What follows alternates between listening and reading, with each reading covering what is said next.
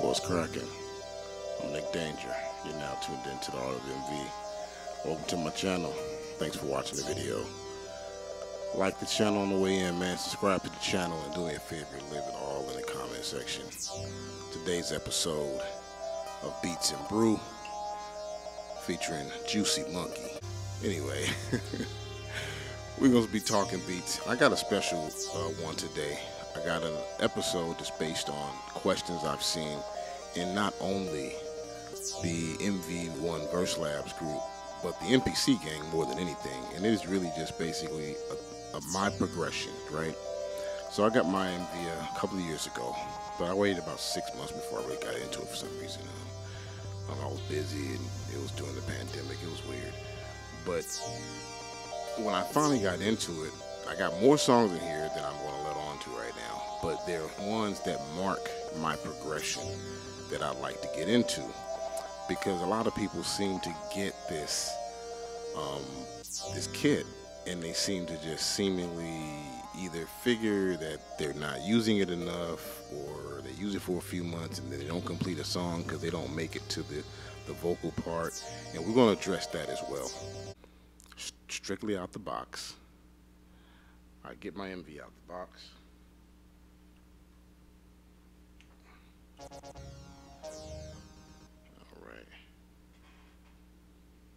okay so straight out of the box what I hear are supernatural sounds and 5080 sounds.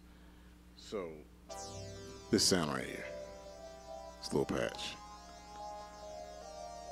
right? I remember hearing this in my Integra 7, so I gravitated towards it. This sound is a very top-notch roll, uh, rolling lead that is in the 5080 and I heard that. So immediately I jumped over on it and I tapped out a beat. Now this is somebody straight out the box. If you could see this, it says first project because that's exactly what it is. And it's just a simple beat.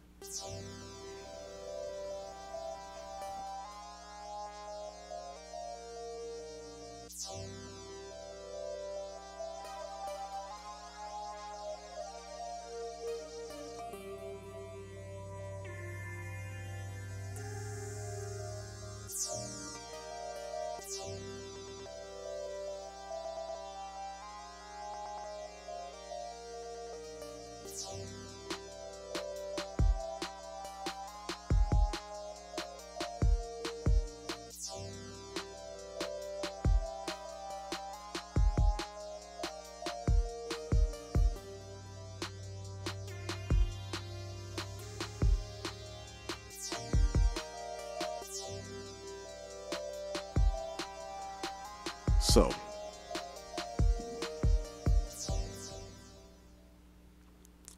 so out the box, a simple sequence, just excited that I had some sounds that I recognize, right? So the only thing I accomplished then is seeing that straight out the box you can make a beat without touching another unit. To me, that's the first element of progression for me is proving that straight out the box, without anything else touching this, I could make a sequence. A little sequence. It's not nothing I'm going to do with it, but anyway, moving on. After a couple of sounds like that, there's a sequence here that I have. Let's go to the second project, right?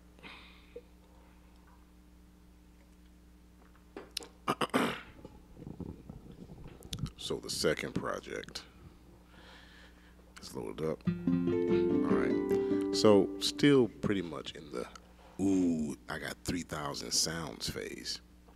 I find these um, these kits that are all in the same key So let's uh, go sequencing.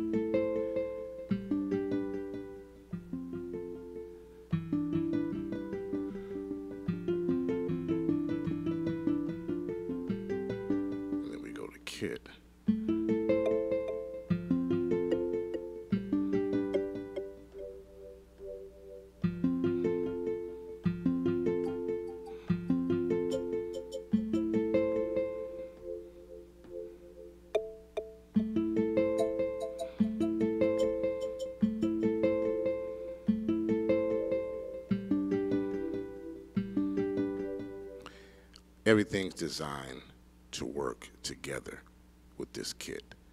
So this is something that was new to me, but it was still discovering sounds. But it was also discovering what the new thing is going to be like. So this informed me on what the the stuff that you can download from uh, Zenology or the the Roland Cloud that was specifically made for this is going to be like. It's going to be stuff that can work together automatically. All right, and and you know, let's go to the song. Let's see what we got here.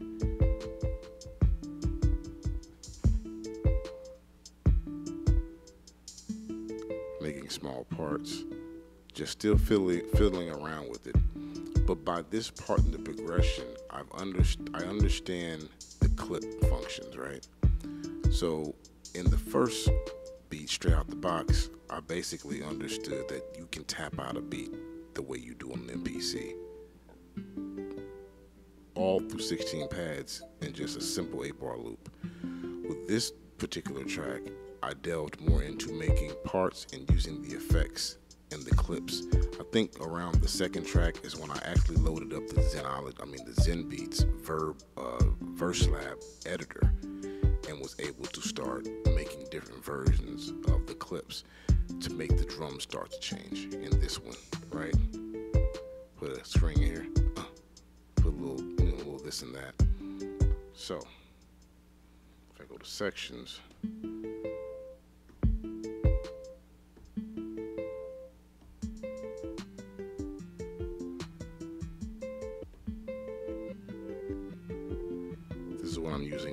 effects on the clips. So by the second time I use this thing, or by the second sequence, one of the biggest things is to basically understand what the clip function. So this is where the sequencers on the MV8000 and the MV1 Verse Lab kind of start to part ways. This is becoming um, easier to deal with with the uh, TR-REC style sequencer, step sequencer down here, and as well as the clip-based function, which you don't need the VerseLab editor to, to dwell in there. You can do it straight from here. And it's very easy, but I'm pointing this because you can see the clips here. And to be honest, I'm more comfortable with using the clip function here because the visual is better. Matter of fact, if I can take this down here, you can see. There it is. Yeah, the whole clip layout and whatever. And you can just kind of slide it that way. Um, and on this particular beat, this is what I start to learn is that this is a clip launching based kind of production. And it kind of has its pros and its cons but later on i'm just showing you guys my progression via audio. This is where I, I was made very aware of you can only go eight bars and then you have to empty out the clip and make another eight bars to make 16 bars and so forth and so forth. And even so forth when you make eight bar loops it makes when you cut it down to four in the song mode in the section mode when you make a section that is an eight bar loop only play four sections for a certain reason it kind of sounds good. So anyway that's where i am in, in, in this part. So let's go to the third uh, track that i made here that actually has third project. So here's a sequence Okay. In this particular sequence, the thing that stood out to me was how precise I could be with the sequencer. So, for all intents and purposes, even when you're using real time pads to input, you're tapping in your beat a la the way you do finger drumming on MPCs, and not using the TR style step recorder to lay your notes when you go back and edit those notes, you can edit them by simply taking a note away from the TR style sequencer. So using the TR style step sequencer to um, edit by way of subtraction is very doable and very easy. You know what I mean? And that's how I did this track. After putting everything in, I took the hi hats and really emptied out the beginning of the song to make it really sound just kind of, it's made for an MC. And the, the hi hats are just basically keeping the track, uh, just keeping the metronome. And anywhere I needed a space, I went and deleted every note in that space, leaving the track for about a day or two. Then coming back to the track, I felt different about the drums.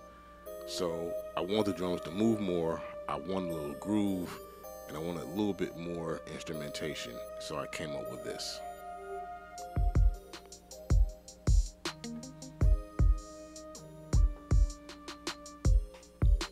Just added more parts um, with a slightly different drum feel, right?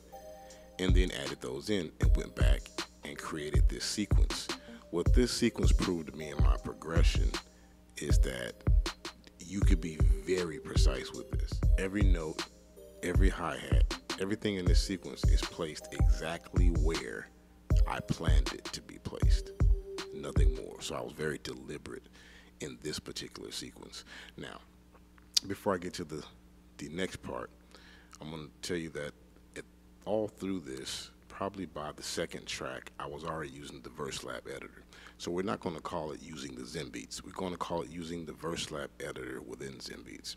Someone in the VerseLab forum, uh, the, admin, the admin, made a good a good point for anybody using the MV or looking to use an MV and you know you have the option to use the screen. The screen is not for deep editing, it's not for controlling the the whole entire unit with the with that with with, with the um with the screen and it's not to make the MV1 a default controller of the Zenology or ZenBeats app.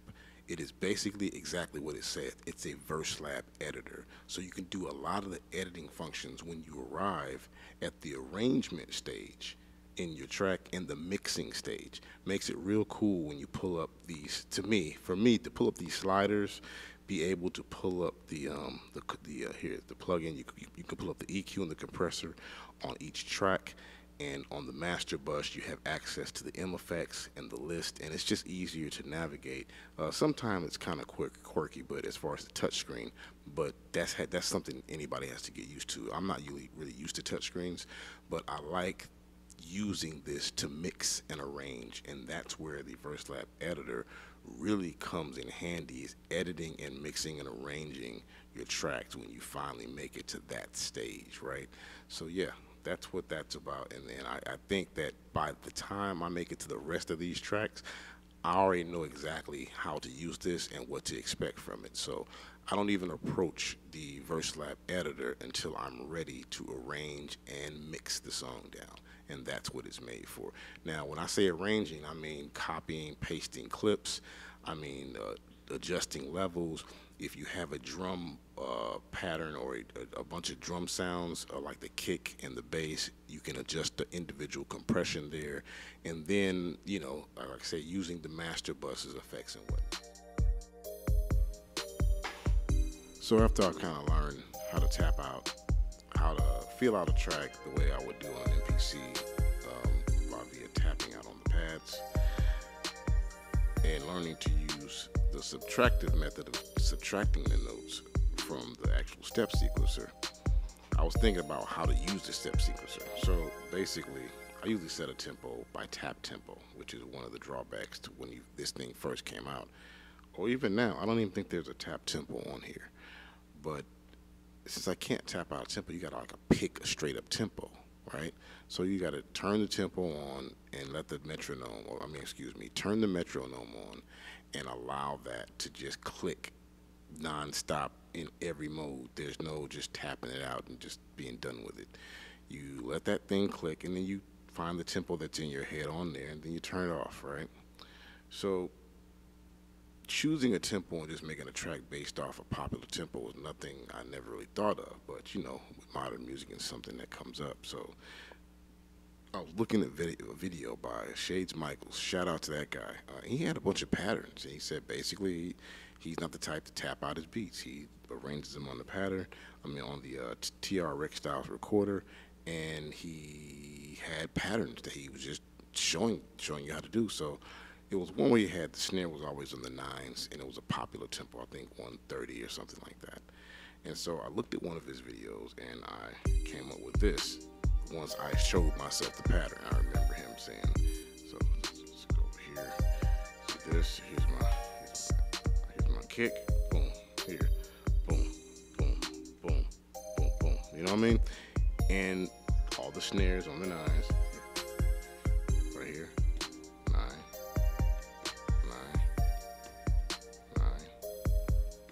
it just hits right there every time, right?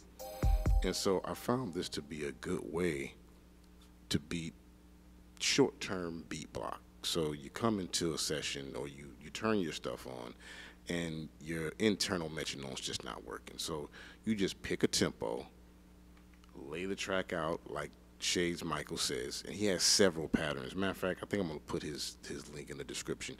Go to Shades Michaels and check out his videos. He has patterns for the MV, and they they'll get you started really easy because I made two tracks with the same tempo within about five minutes apart. So I did this and then I turned around and did this one, right? So I changed the key of the MV itself. So every track was uh, on another key, right? And then I took the same pattern.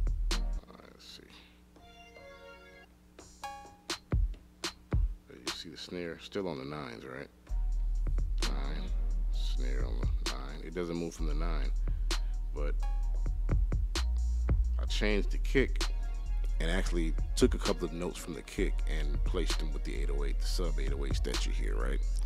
So this track is the exact same tempo and the, basically the same pattern as the, as the track I just played. And this was teaching myself the TR style sequencer. So on these tracks, they're not this track is not heavy on any arrangement because I'm really just still learning. Like I said, I changed the actual key and learned that part. So my whole point is that I can hear in this track right here that I'm learning the step sequencer and that I know how to change the tone and the whole key of the song now. So all I gotta do is go back to what I did this, wash, rinse, and repeat. And we're gonna go back to it. So after I made both of those first two the tracks, I go back to the first pattern with the snare on the nines. Remember I had this, right? So now, I got sections with almost nothing in it, section like this. This was basically the, just made this up, just some kind of intro. I added to that right here. So by now, I'm fully into the step, the TR style step recorder and was able to make so many parts. I made 12 different parts of the song, so I have ample parts to choose from here now. Now, this is a total different workflow for me because I'm not used to using this recorder, and I liked it. So, let's get this on. So, by this part of my progression, I'm actually understanding the sequencer in its entirety, TR-REC style recording, and real-time recording, along with some of the new features, changing the key, uh, using the shift style when it comes to uh, different pads and different uh, different uh, patches that it applies to, and actually using the style technique for the ratchet hi-hats, right? All right. So in this song, this this particular sequence showed that growth.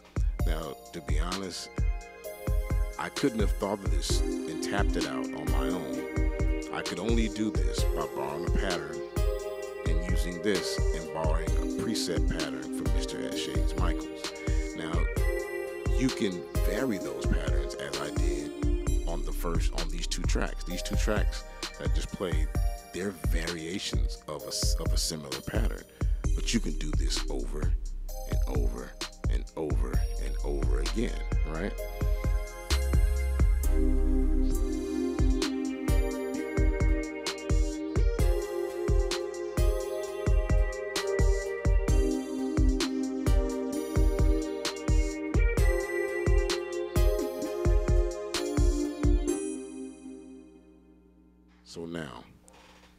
This point, I gotta admit that as a standalone unit, all on its own, this thing, this thing is, it does the job. It does the job, man. There's no doubt in my mind at this point in my progression. Uh, the only thing that all four of these tracks share that the next one doesn't is that all those tracks that were played, all those sequences in my progression, never did I use anything else, not even the keyboard trigger. By the next time, I actually had this MIDI hooked in, and now I'm able to use a keyboard to trigger the more melodic, melodic elements in the uh, MV1 version.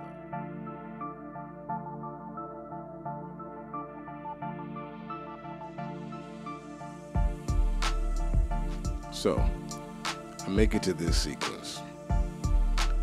This sequence has opened up a whole different dilemma, but it's a good thing, right? So look, I triggered the keyboard parts by MIDIing an, external keyboard trigger to here, my Fantom Alphabet. And it has opened up a whole different way for me to play those patches. Okay, so 16 pads is cool, and the MV is made to mimic a keyboard, you know, but you have to know where the patterns are. Hook it up to a keyboard is just fantastic. So I got a 61 keyboard uh, uh, key uh, keypad over here to do all the melodic parts now, and I can still use the TR style uh, sequencer for steps for my drums and percussion and samples. And if I want to tap, or even if, even if I want to use certain keyboard parts with the pads, that's still available. But it also opened up a whole other thing with my Fantom. So listen, hear me out. If I just hooked up simply routed the entire Fantom, which is now routed into my MV8000, and just simply worked with those two in tandem, it'll give me an extra sampler and 800 extra sounds, which is that doesn't really matter as much as the sampler, the key bed, and maybe the extra percussive track. But one thing it actually adds that I don't hear many people talk about so far is using the internal inputs and recording that signal along with your vocals and everything else. So that will be the next part of my progression in, in learning this. But as far as so far with this track, I know exactly what I'm doing with the sequencer. I know exactly how to make parts and sections to songs and affect those clips and form those sections and songs into one nice composition. Now it's just a matter of an external source of tools to equip the MVU to really make it an all in one standalone.